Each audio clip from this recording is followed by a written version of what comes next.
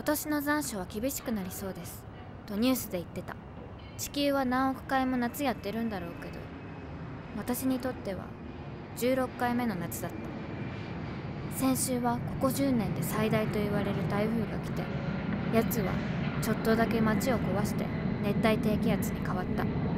すぐに街も暮らしも元通り今週も週間予報は曇りマーク何か変わらないかな。奇跡的な何か。でもとりあえずまだまだ夢を見てたい。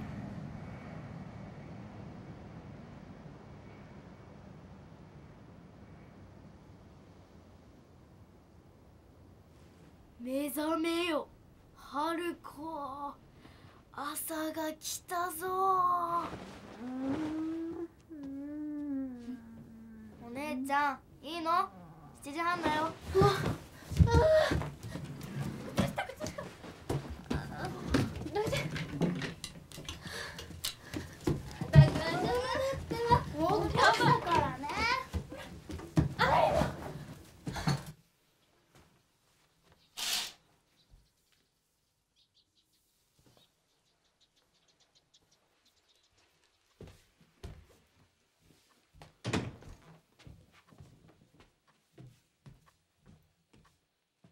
ってきます。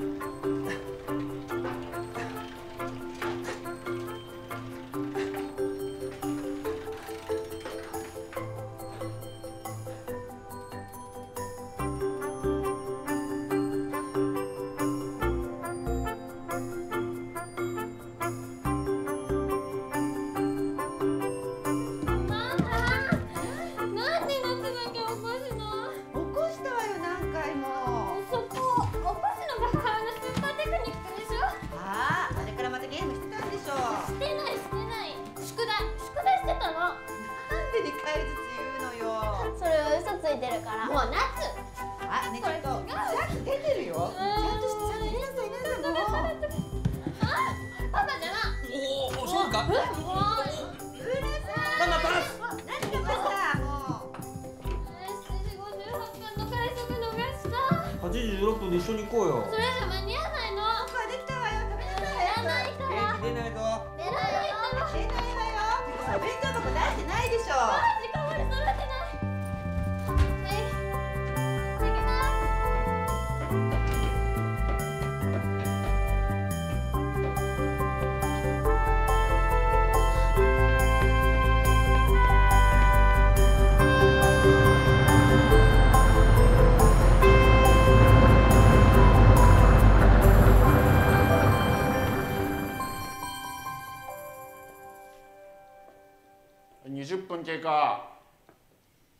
ところからな。先生いつも言ってるぞ。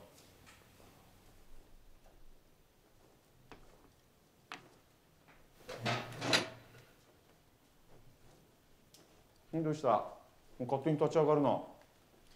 先生僕学校辞めます。が学校ん？んん？やめる？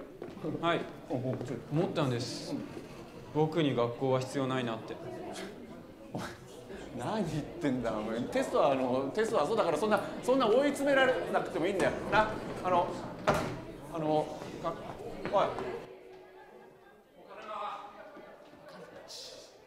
なあのちょっとちょっとパパどどどう。したんだなあの先生なこのお前のなあのやめなさいテスト中なんだ、味方なんだな何度も言ってくれなあの先生あのなあの戻ろうな彼があのちょっとちょっといいから戻ろう先生な教室戻ろうああのいや何でもねすみませんあの戻ろうなあの先生ななあのちゃんと話そうなあの話して何何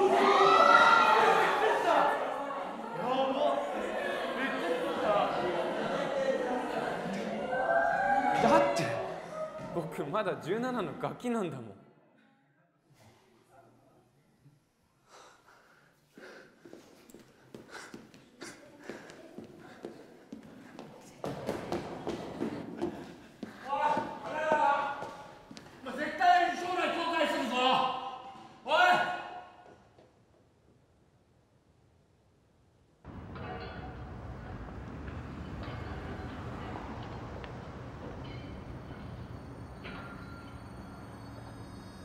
僕神奈川健一と。私渋谷春子が。この一瞬。こんな風にすれ違った。彼は見下ろさなかったし彼女は見上げることはなかった。でもそんなことはありふれた出来事である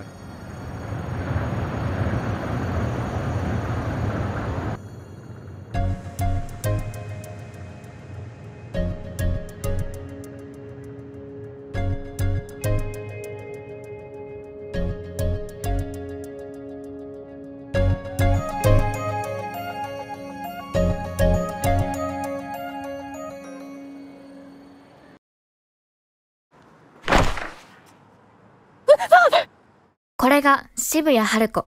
神奈川健一の具体的なファーストミートである。先生僕学校辞めます。神奈川健一。ロマンチックで浅はかで。僕に学校は必要ないな。うかつな運命の。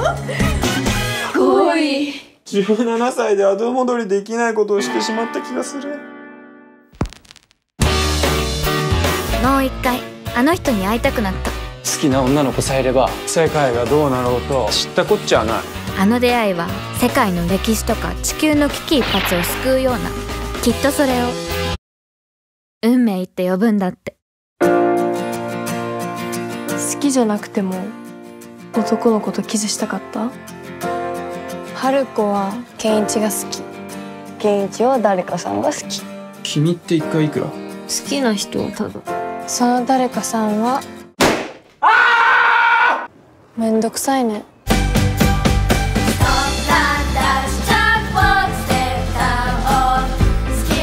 私の世界は全部存在しないの。全部嘘なの。全部気のせい。だとしたらどうしたらいいの？恋する僕らの。小さな女装の物語。あなたがどんな人か全然知らないのに勝手に恋に落ちてどんどん思い込んでどうしたらいいか分かんなくなっちゃってジオラマボーイパノラマガール話出てる。